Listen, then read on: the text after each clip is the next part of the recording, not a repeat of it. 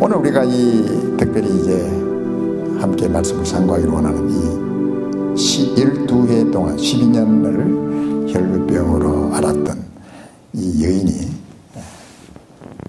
오늘 이 말씀을 이렇게 보면은 그가 예수님에 대한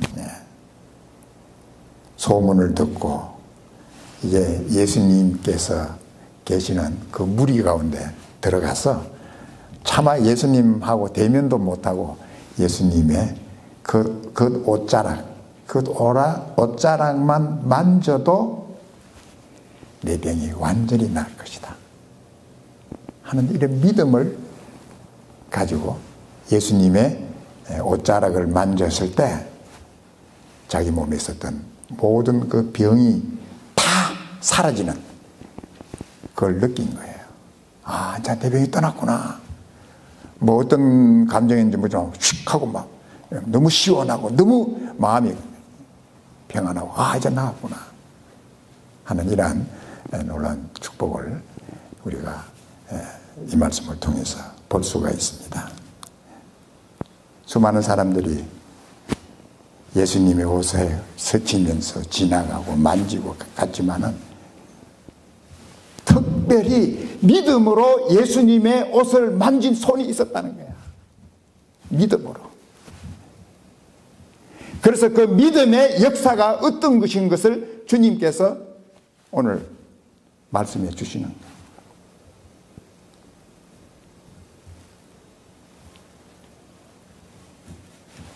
바로 그 여인이 예수님께서 그 진노하셨을 때 이제 아 예수님께서 이거 아시는구나. 내가 옷자락을 만진 이 사실을 예수님 벌써 알고 계시네. 그래서 예수님의 발 앞에서 자초지종을 다 얘기하면서 오늘 예수님의 옷자락을 만졌는데 주님께서 나를 고쳐주실 것을 믿고 만졌는데 그대로 주님 다 나았습니다. 내 병이 다 나았습니다. 내가 그 병 나은 걸 네, 다 알겠다는 거예요. 그때 예수님께서 예, 그 여인을 칭찬해 주셨습니다. 칭찬해 주시면서 따라 두려워 말라. 내 믿음대로 내 믿음 내 따라 내 믿음이 너를 구원하였으니 평안히 가라. 내 병에서 놓여 건강할지어다. 건강할지어다. 우리들이 믿는 예수님 여러분들 어떤 분이라고 생각하세요?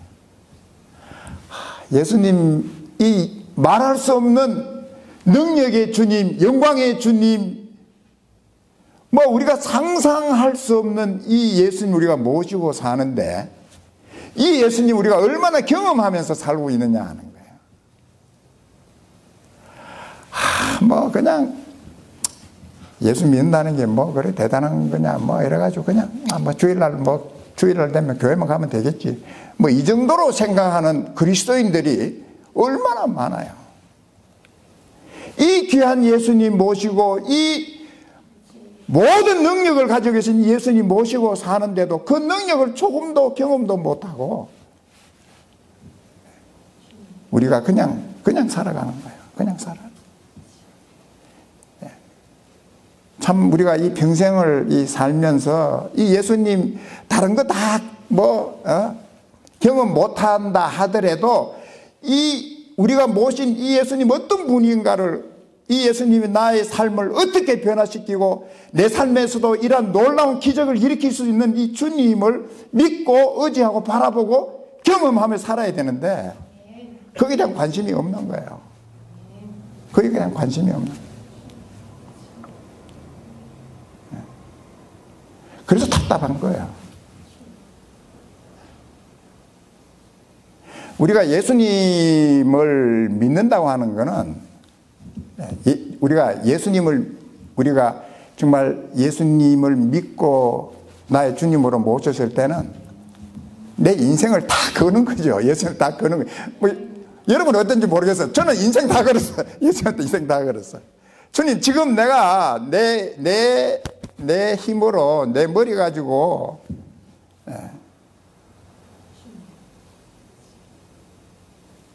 정말 내 인생을 사는 게 아니라 주님 내 인생 다 주님 앞에 걸겠습니다. 주님 다 맡깁니다.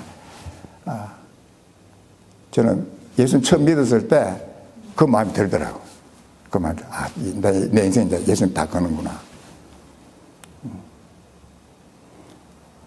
그리고 또 한 가지 또 제가 목사 안수 받았을 때, 야, 이제 이거는 갈 때 올 때 없이 이제는 이제 주님만 복 가야 되는구나. 그래서 내가 목사 안수 되게 울었어요.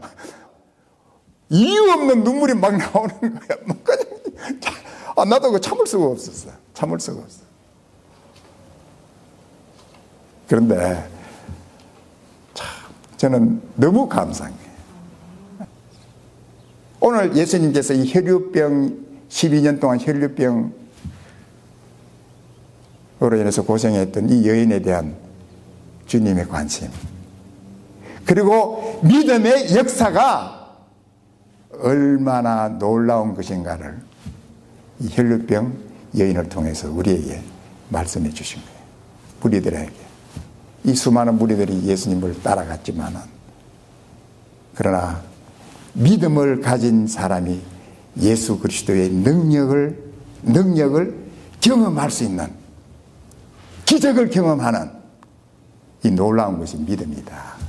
이 여인이 이 여인이 예수님의 옷자락만 만져도 내 병이 나는 하나의 믿음을 가지고 살은 것처럼 나도 예수님 어쨌든 예수님 내가 믿는 예수님 정말 놀라우신 주님이신데 나도 좀 주님 누리고 좀 살 수 있는 복된 제가 좀 되도록 주님 저를 인도해 주시고 또 축복해 달라고 이런 간절함이 있어야 돼요. 예수님께서 살아계신 하나님의 아들이시여 베드로의 고백처럼 우리를 구원해 주시는 그리스도 구주해 주신 것. 이 믿음으로 이 믿음이 우리 서야 된다는 것이죠. 그리고 두 번째는 주님께서 나의 모든 문제를 해결해 주실 수 있는 능력의 주님이시다는 이 사실을 믿어야 거예요. 안 믿어, 안 믿어. 그러니까 기도도 안 해요. 걱정만 해. 맨날 그냥 스트레스만 받아. 주님께서 내 모든 문제 해결해 주시는 분이시는 믿고, 가장 믿고 의지하고 주님만 의지합니다 하고 이 믿음으로 나가야 된다는 거야. 믿음으로. 나도 우리가 여러 가지 뭐 문제가 있을 때 기도할 때 때로는 막 내 마음에 의심도 들어오고 야, 막, 예, 그게 진짜 내가 기도하는 대로 되겠어? 뭐 이런 의심도 들어오고 이러지만은 저는 그렇게 기도해요. 주님, 저는 내 의심, 생각, 이거 안 믿습니다. 내 안에서 무슨 소리를 하든 저는 예수님만 믿습니다. 저는 예수님만 의지할 겁니다. 끝까지 나는 주님만 바라보고 갈 겁니다. 저는 이렇게 막 다짐하는 거예요. 다짐. 주님. 결코 주님을 의심한다든지 그렇게 안 한다는 거예요. 의심이 올 때는 주님, 내 안에 이, 내 안에 오는 이 의심이 뭐 때문에 의심이 오요? 내 생각, 내가 보니까 안 되는 거거든. 내가 보니까.